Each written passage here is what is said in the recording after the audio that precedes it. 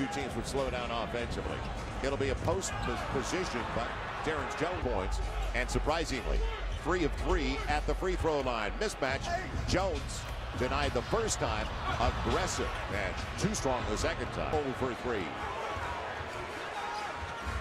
Dorell Wright. His spot. And he comes through with a triple. Dorell Wright playing so big on the defensive end, getting a couple of blocks, and then they're taking a shot. Terry Stotts was talking about that getting back. Lin underneath with Asik.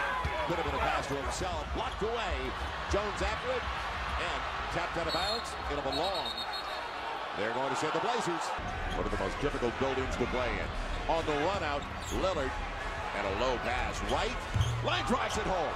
He won a game at the end of the year with almost the identical pass with about a second to play. The pass was. But you have to be ready to shoot. Have to be ready. His hands are there. He knows the clock is running short. Great defense by Lin right there, keeping the hand in his face. Just better offense. For 16 after going 8 for 28 in game one. The two on the run.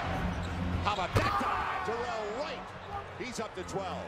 They didn't have anybody off the bench in double figures in the last game. They've gone scoreless, at least from the field, over the last 14 minutes. Quick catch and shoot.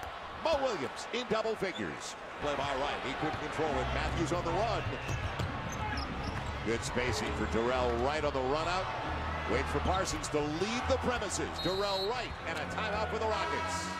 Reason why the Rockets are calling a timeout is because Portland is playing like the Rockets want to play. Two seconds, get rid of the ball, pump fake, get an open shot for your team. Fusion is out of the timeout. Parsons.